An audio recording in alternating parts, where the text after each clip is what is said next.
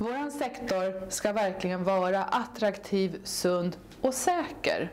Och just säkerhet, det kan man aldrig få nog utav.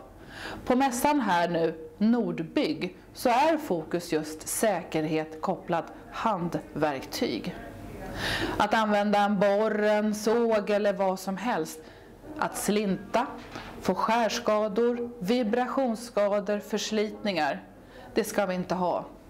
Det här gäller att verkligen tänka till och se riskerna innan. Och därför är just arbetet med riskbaserat säkerhetstänk jätteviktigt. Vi på Sveriges Byggindustrier vi tar det här på fullt allvar. Vi jobbar med det här på mässan men har också tittat och fokuserat hela våren på det här och nu går vi vidare i arbetet. Tänk säkert innan.